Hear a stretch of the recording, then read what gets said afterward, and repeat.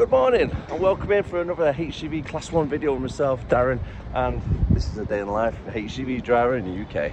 It's a nice and very, very fresh morning today.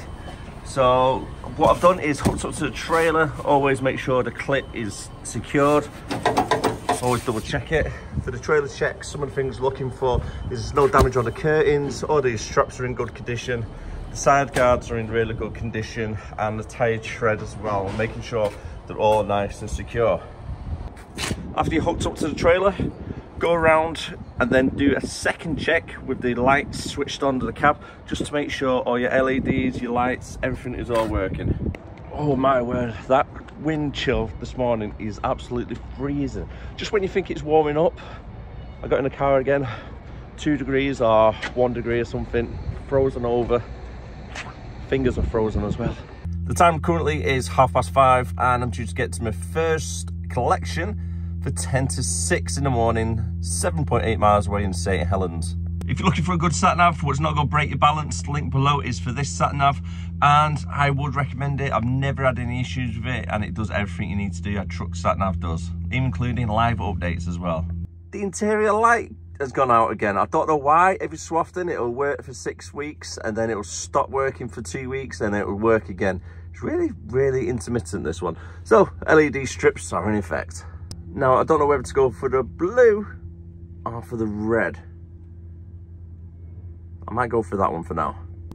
Nope, change mind, blue. It's a little bit more relaxed. I do get some questions asking how do you check your brake lights when you're on a trailer because it's so far away from you.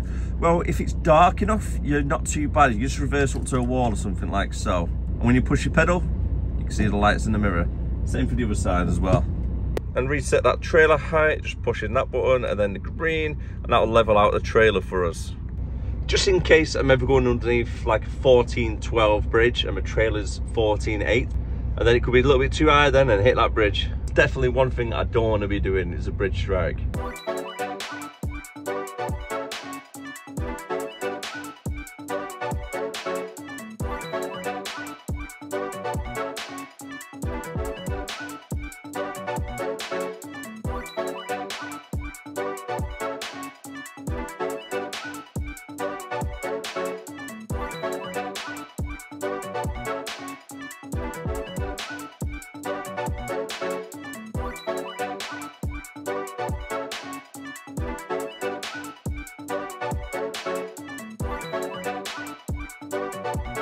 One thing I do like about these new trailers that SSL currently have is when you're reversing down the road, they've got these lights that activate.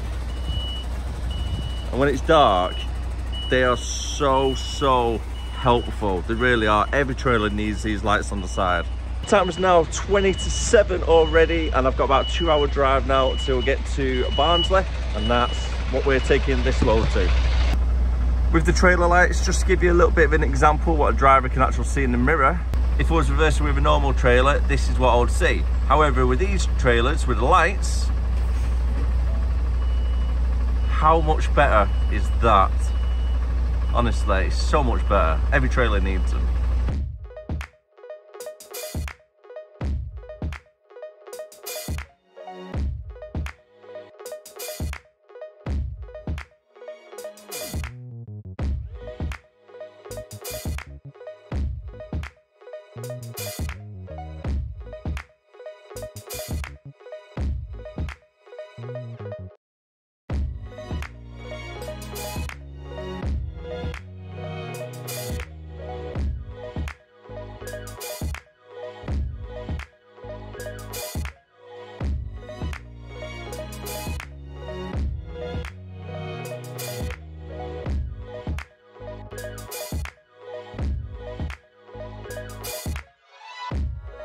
Just arrived here now, quarter past nine, and I've got 19 pallets to get taken off by this place. I think it's gonna be a back door tip, so I've opened the back doors already. I'm just waiting for the gate to be opened, and then I can get onto the base get unloaded.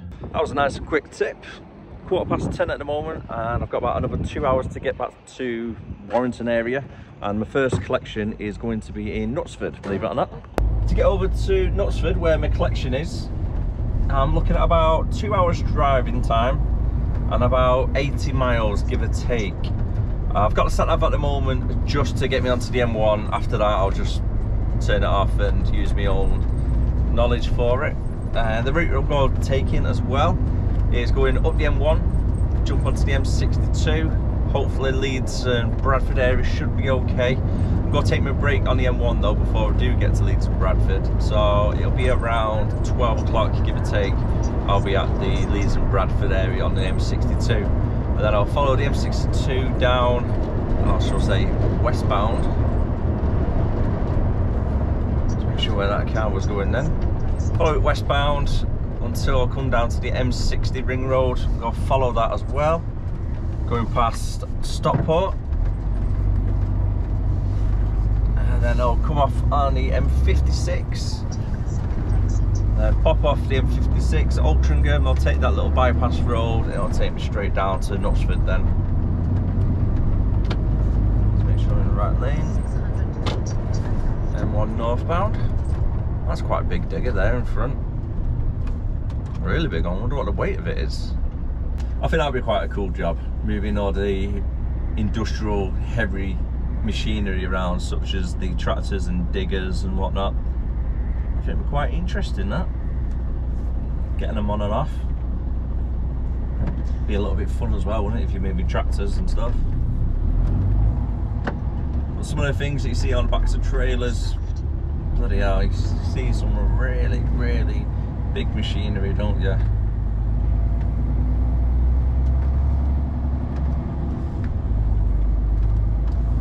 Seen somebody moving a big, like a big canal boat type thing. Bloody massive it was. Oh, that is very nice. Ford Mustang.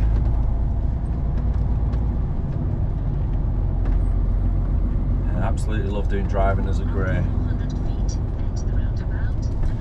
Best of luck as well to anybody that's going in for their class one or class two jobs it's first time doing a driving as a career, I'm sure you will absolutely love it once you just get used to long hours. I know it sounds quite bad, doesn't it, like getting used to the long hours and stuff, but it does go quick. It really does do quick.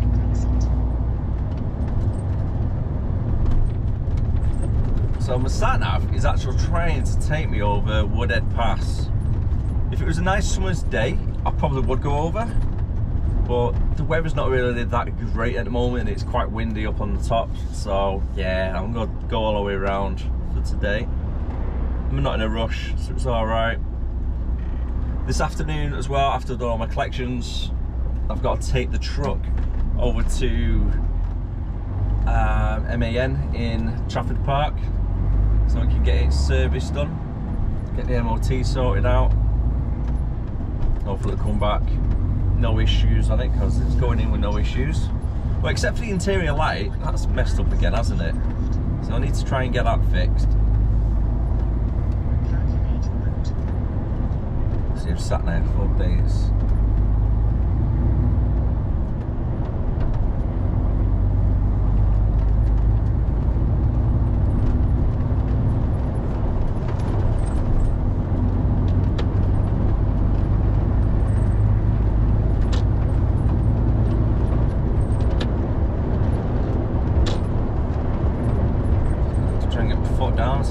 take it. No, I think it's actually losing me. oh my god, I actually be uh, I'm quicker than this. It looks like the big digger's out running me. I can't get into the slow lane. I've got my indicator on, but there's a car literally by the rear axle on the trailer. I thought the why they're sitting there. I think it's a good idea.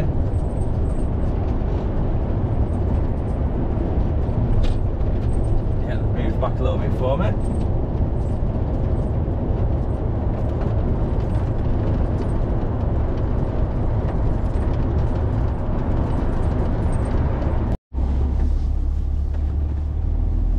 quite large structures on trucks, you know, like this one here. Looks like it's part of an office block of some sort. Could be waiting there for an escort maybe after his break. Don't know if you might need an escort for that. Looks quite long, doesn't it? Just coming past Halifax now on the M62 because um, I'm quite high up at the moment I'm nearly at the moors. And my word you can feel the wind battering the side of the trailer because I've got no weight whatsoever on the trailer. It's completely empty. And with pretty strong winds coming at the moment. You can feel it knocking you from left to right. It's a little bit of an uneasy feeling if I'm being honest with you really does feel a little bit sketchy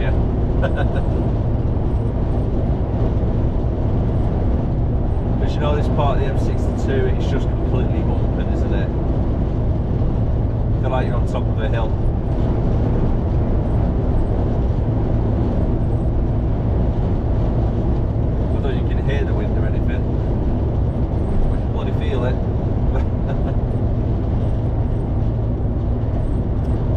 coming back down this way empty probably last year and it was one the first times been driven in like storm weather with uh, according to the wind like it was like 40 miles per hour and I felt honestly it probably didn't lift off the ground but it felt like the trailer lifted off the ground a little bit onto like two wheels oh my god I've never crapped myself so much it was horrendous it really is. Rain, I can work in, not too bad. Cover up, don't you? Wear some waterproofs. But the wind, oh god, you can't get protected from that. So this little section around here, probably open up a little bit in the wind.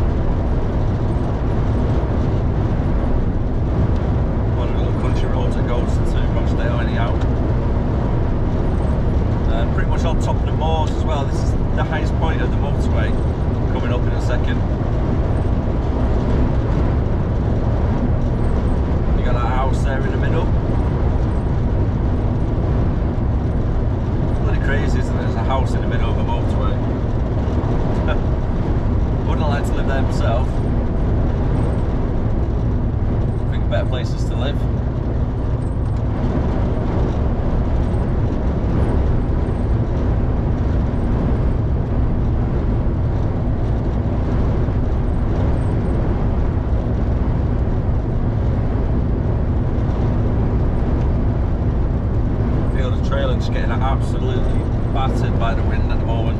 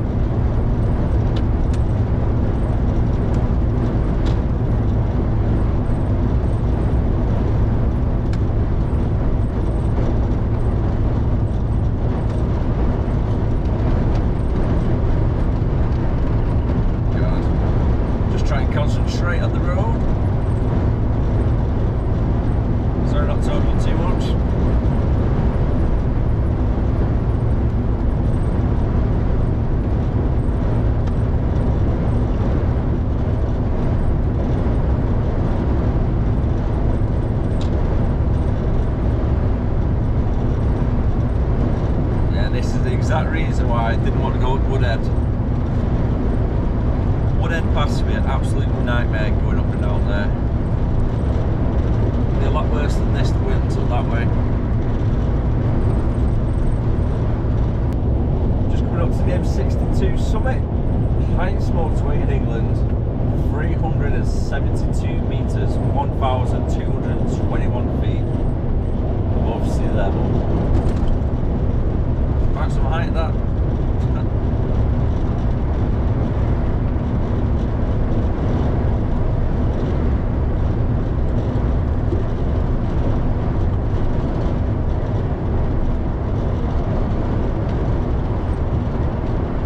Ah, there we go, safe. A little bit protected now out with the hills on either side. Time has just hit two o'clock and I'm done over at Knutsford. Collected 15 pallets from our client. Now on to the next one. Appleton Industry Estate for I think it is one or two pallets. It's in that little tight yard that we've got to like use next door to try and spin around. Hopefully there's not an Arctic doing a delivery there. It might be a bit of a tight reverse into the car park area. Should be okay though, either way. Hoping to get there for probably about hmm, 25 past two, give or take. Uh, where's she off now? She going for that door? Yeah.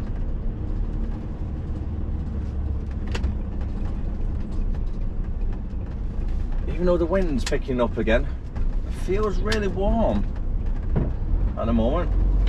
Keep getting a little bit like hot flushes. Though from coming down with anything. Feels like it a little bit, for being honest. Saying that little man has been in nursery, hasn't he, for two days this week. He's probably picked something up again. Because every time he goes to the nursery, he picks up the plague every single week. It's ridiculous how often that kid brings germs home. I keep saying to Leanne, I think they go around just licking each other. It's like a petri dish. But he seems okay in himself though. So if he has got something, it's probably like a stealth bug. I should be okay either way. Uh, it's driving through Knutsford village coming up.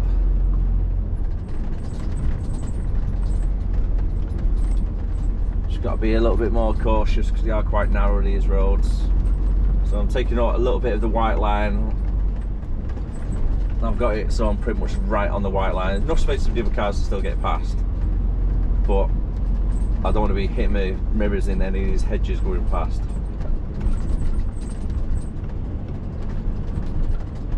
I thought that van was going to pull out in front of that car then.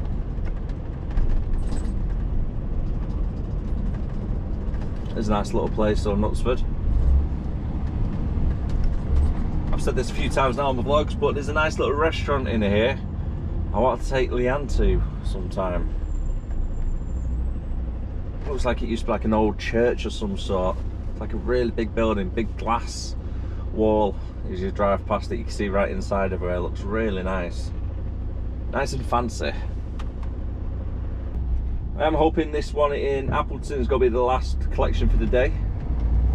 As I've still got to take the unit over to Trafford Park in Manchester.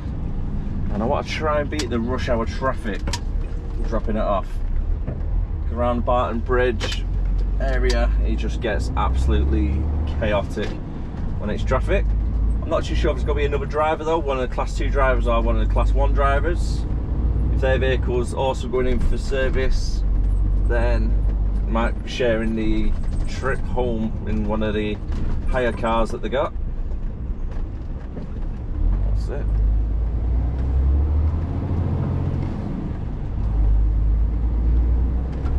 Which is that, I think it's a Volkswagen Up. It's basically a Volkswagen version of the smart car. They're so small, compact. I don't know how on earth people have them as a car to own if you'd like to do shopping or anything. I mean, I bet it's great on fuel. because it's probably like a one litre or something. But the boot space, there's literally, I can fit my bag in there, that's probably about it. There's not a lot of space whatsoever.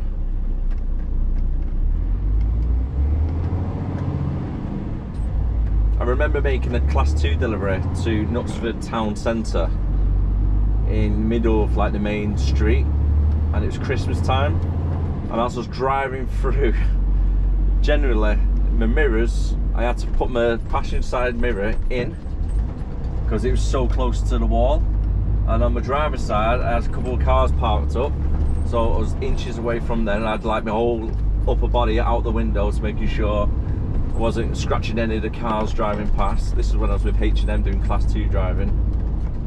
And I'm driving through and all I can hear on the roof part is the Christmas lights. And I had an image in my head of all these Christmas lights getting caught on my truck and I've just ripped the whole of the town's Christmas decorations down like big chaos and everything behind my truck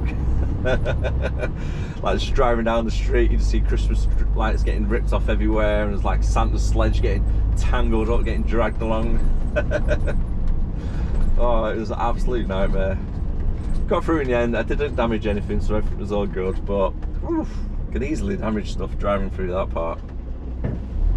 Definitely needs to be like a seven ton truck or three and a half ton van even. I think it's more ideal isn't it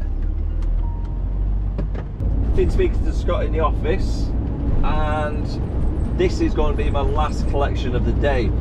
Yay! So all I need to do is nip into here pick up one or two pallets back to the yard empty off drop the trailer and then drive solo to Trafford Park to the MAN site.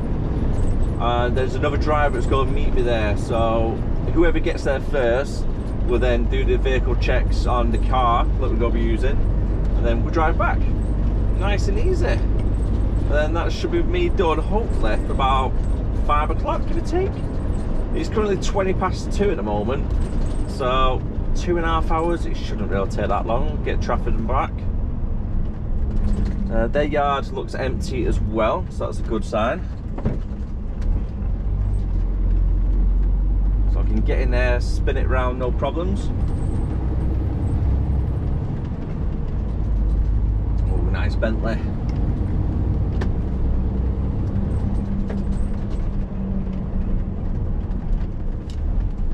So it's just by the Mark Thompson site, this.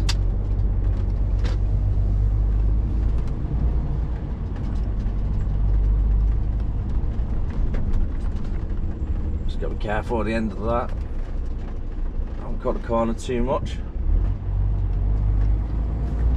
Oh, I hate this section around here. There's a massive pothole here. You've probably got a field bouncing around in a second. I'll just go over it slowly.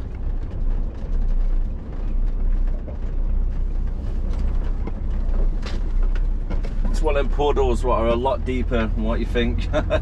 you drive over it thinking it's like a shallow puddle, bloody hell, it's like three foot deep just bounces you around the cab.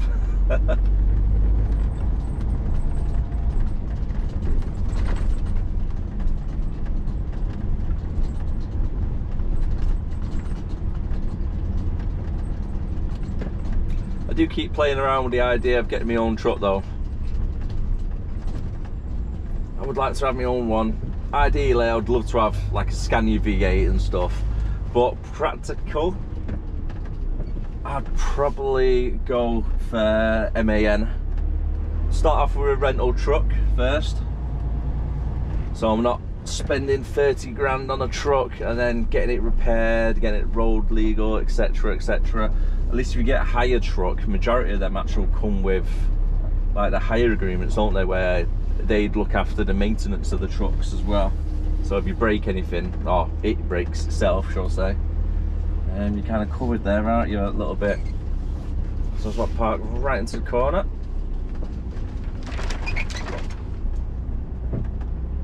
Just so other vehicles can get past.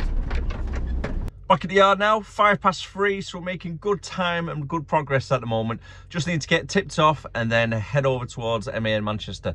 That last collection was probably one of the quickest ones I've done in a long time. It was ready already, on the forklift, guy waiting, opened up back doors, straight on the back doors, didn't have to do the curtains, off, gone, straight away. A little bit of traffic on the M6 northbound because, well, it's the M6 northbound around Warrington area. It's always crap around there, isn't it? And now, yeah, time just to get Trafford. Hopefully the traffic won't be too bad though going towards Trafford down the M62 because well, it's getting towards rush hour, but on the way back, it's going to be chaos. Just arrived at MAN at Trafford Park. It's about 20 past four, give or take, and it feels like it's another storm on the horizon because it's pissing it down now. That's the little beast that we're driving back in. And for the boot, you can pretty much fit a watering can in. and now playing a little bit of waiting game, waiting for Mick. He should be here very shortly in his class two. And then we can go home. Well, when I say go home, back to the yard and then get my car and then go home. and here he is, 20 minutes later. Go on, bud. Before I forget as well, I'd like to say big congratulations to Scott, one of my subscribers who passed their class one today. Good luck in the future, mate. I hope it all works out for you and I hope you don't look back on it. Enjoy your life as a trucker. And ladies and gentlemen, that is what we call a wrap. The day is done. It is now six o'clock coming up to. It's took an hour and 15 minutes to get back from Trafford Park over to Haydock and I'm going to call it a day on the video. So thank you very much for watching. If you did enjoy don't forget to hit that like, comment, subscribe, and I'll see you again next time. As always, stay safe out there, keep on trucking. Bye for now.